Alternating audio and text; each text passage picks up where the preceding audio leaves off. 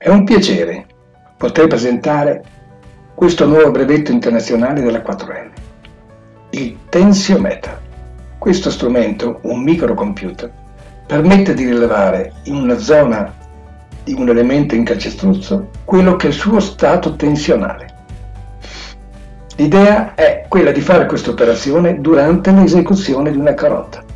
Il prelievo della carota che poi viene portata in laboratorio per eseguire la prova di rottura, la prova di schiacciamento, ci permetterà poi di avere il risultato ultimo di resistenza del materiale. Ma questo risultato dovrebbe ed è bene che sia confrontato con lo stato tensionale di quella carota prima di essere prelevata.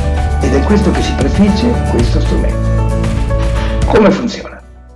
Vengono incollati degli stessimetri sulla superficie del calcestruzzo nella direzione di misura dove si vogliono rilevare gli stati tensionali.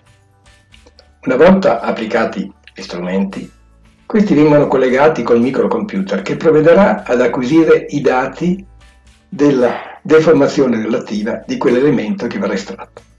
Infatti, mentre noi eseguiremo la carota, carotaggio, e quindi tagliando tutto intorno all'elemento in misura, noi rilasciamo tutto lo stato tensionale in quanto liberiamo quell'elemento dalla compressione o dalla trazione che era preesistente. Questa misura quindi determina una deformazione opposta a quella che era prima insita nel materiale stesso. Qui vediamo l'applicazione del microcomputer, il tensiometer, e l'applicazione della carotatrice.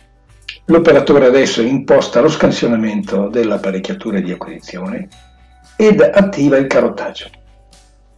Durante il carotaggio, come si diceva, man mano che si penetra dentro il materiale, questa parte di materiale che è appunto la carota si rilassa, cioè perde lo stato di tensione che tutto il materiale intorno gli provocava.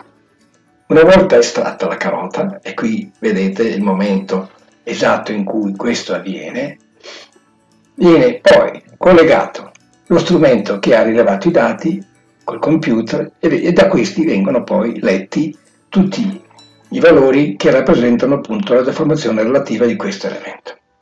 Qui vediamo l'elaborazione rapida del risultato il risultato finale che ci porta a conoscere lo stato tensionale pari a 150 microepsilon